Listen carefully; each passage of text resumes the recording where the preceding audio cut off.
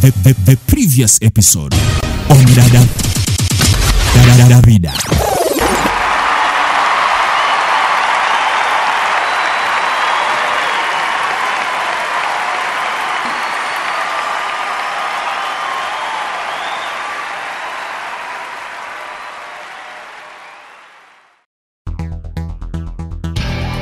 kuna kitu ambayo inaitwa maagano.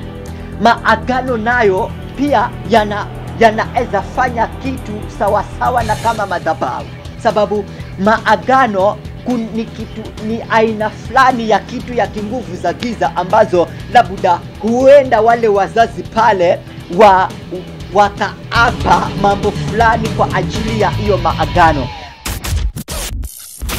Coming up next on Davida.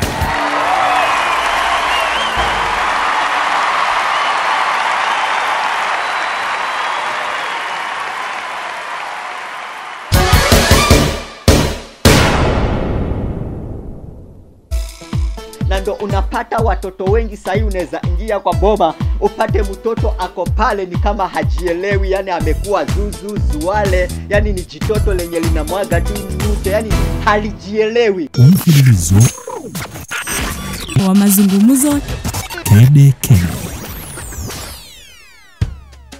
wenda wazimu wengi pia wanapatikana kwa kuna hawa wa jamaa ambao tunawaita Freemason hawa ambapo pia sana sana upande huo nao huwa inasababisha kwa mfano saa hii nime, ninaona hata wachungaji wengi sahii wame wame wengi sahii pia nao wameingia kwa sababu ya shortcut ya mtu kutaka utajiri. Na wengi wameangamiza makanisa wengi wameangamiza waumini maka wengi yani, yani kumekaa na hali yenye haieleweki.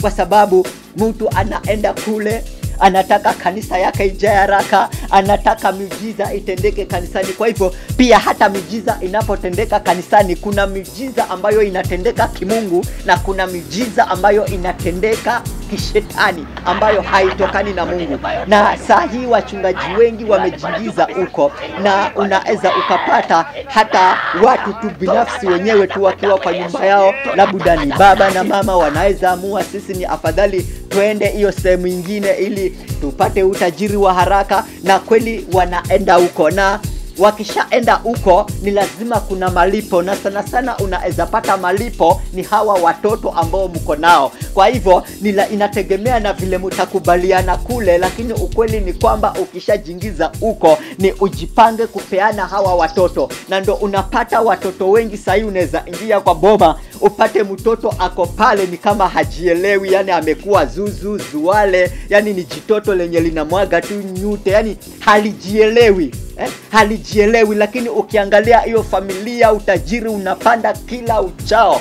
Jua kuna kitu kinafanyika. Huyu mtoto si kawaida. Kuna mahali amewekwa kuleta utajiri. Na wakati mwingine unapata hata wa wazazi wengine wanafanya hivyo na hata wanaachilia watoto kabisa watoto wanakuwa machokoraa huko watoto wanakuwa wenda wazimu huko watoto wanateseka huko sasa we unawaona njiani kule unashindwa ni nini kinaendelea lakini ukweli ni kwamba huyu mtoto anatumika kwa utajiri wa pale nyumbani Mazungumzo kede kede. kede kede Hapa Davida. davida Usiguse mita hii. Subscribe. subscribe, subscribe.